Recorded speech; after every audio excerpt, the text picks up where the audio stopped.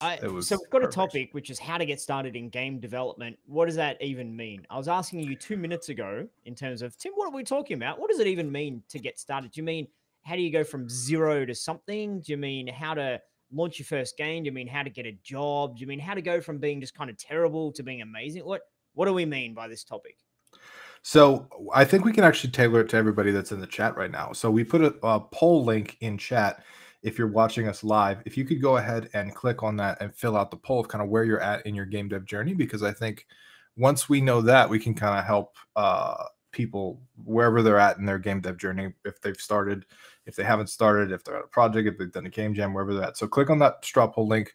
I'll post it one more time and uh, and and tell us where you're at but I think uh, getting started is is one of those things that yeah, it does have a lot of meanings, like you were saying, Rick. Like, oh, I've I've already written the line of code, therefore I've started, or like I've already launched a game on Steam, therefore I've started. Um, it means a lot of different things to a lot of different people. So if we've got a good understanding, kind of where everybody's at, um, if you want to share my screen real quick, Yep. we've got the votes coming in. Um, looks like most people have finished smaller projects or game jams, uh, or they've watched videos or taken courses, but they don't have a personal project. Oh, look at this live data incoming. We're fancy. Crazy. Look at you with the technology, huh? Genius. I know I can't get the intro right, but I got the technology right. Dude, you you not maybe not be a talker, but you'd be a doer. That's just as good in life. You know how I be. You be you be good. You be you. Yeah, so so it looks like the majority of people have watched videos or taken courses, but they don't have a personal project. So I think for getting started in game dev, for what a lot of uh, the specific people that are watching today means getting started with their first actual game outside of courses or outside of YouTube. Um, and then I a bigger chunk. Button, I turned you off. We're so professional here this morning. so a bigger uh, another big chunk of that too is probably people that have uh have done smaller stuff right uh started on a bunch of projects probably have shiny object syndrome probably have done game jams and stuff but they've never actually finished and released something too. So we've got we've got that's like 60% of the people listening here. And um we've got a few people that have finished smaller projects or game jams which go you guys.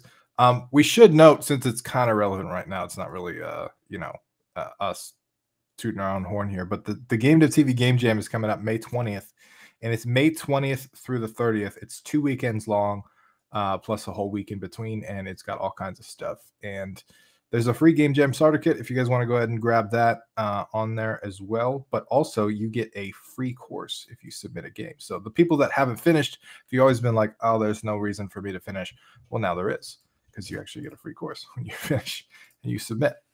Um, but yeah, And you, you know, So- a lot of it, a lot of getting started, I think, is just having the courage to be bad. And I'm teaching my kids at the moment how to how to create things in Scratch, and I'm working on a Scratch course as well. So if any of you have kids or people who are new to programming, uh, for me, to be perfectly honest, this is a bit of a secret here, Tim, but I've got, into Scratch, and uh, if you don't know, Scratch is a web-based uh, drag and drop block visual scripting language, and uh, a lot of it when I was first looking at it, I didn't know what to do, even though I understood the, the fundamental concepts like, you know, uh, what a loop is and what an if statement is and variables. I understood those concepts, but just to get there and think off the top of your head, okay, I want something to happen over and over. And then when you bump into something, I want it to stop and play a sound effect.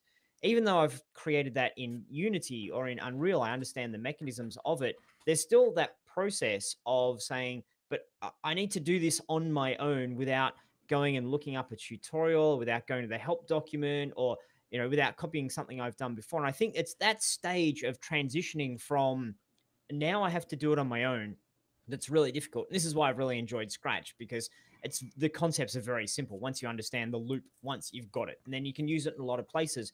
And so, one thing I'd say if you're starting out, this rant is leading somewhere, by the way. If you're starting out, is go find some really, really simple things and learn them by doing them over and over and get really good at those. So you've now got them in your toolkit as I can do that.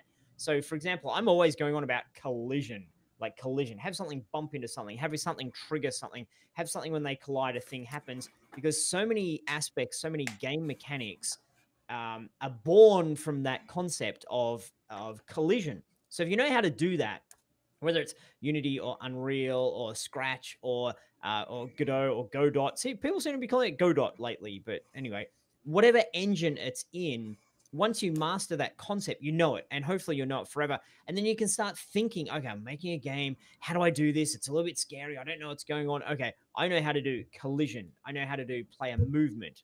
I know how to do, um, for example, having having some sort of variable so that I have a score and I have a timer. Okay, just with those four things that I mentioned there, you can make so many games and have them so interesting and so much fun. So build upon it little bit by little bit and don't do what a lot of beginners do, which is look at it and say, okay, a couple of things I know, but wow, look at all these things I have no idea about. Like there's gonna always gonna be things you don't have any idea about. So don't focus on that. Focus on what you know and make a game that fits within what you know.